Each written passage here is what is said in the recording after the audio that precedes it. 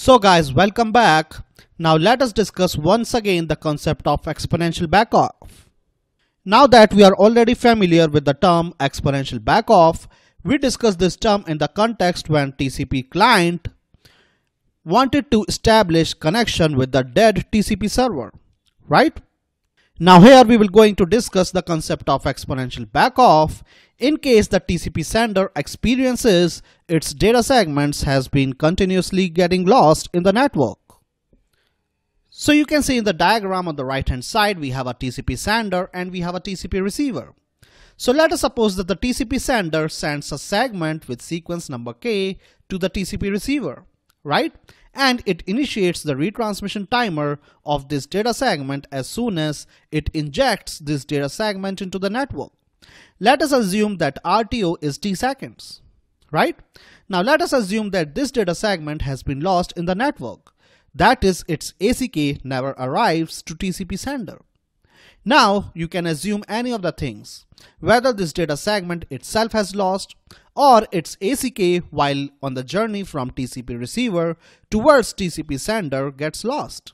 Both conditions are equivalent with respect to TCP sender.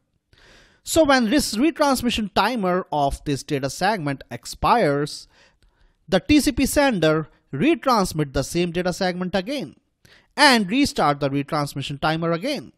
But this time the value of RTO was doubled of its previous value, right?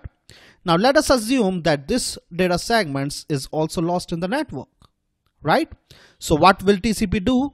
The TCP after expiration of this retransmission timer will again retransmit the same segment again and it will restart the retransmission timer again. And this time the value of RTO is again doubled of the previous and this continues, right? So you can see that doubling the RTO for every consecutive retransmission is called exponential backoff, right? Default number of retries the TCP sender does to send the segment is 3. That is the TCP sender tries to send the data segment at maximum of 3 times, right?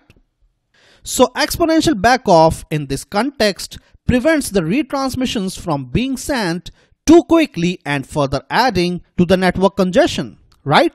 Since the data segments is being continuously lost again and again, it is the indication that the network is really congested and in a bad state.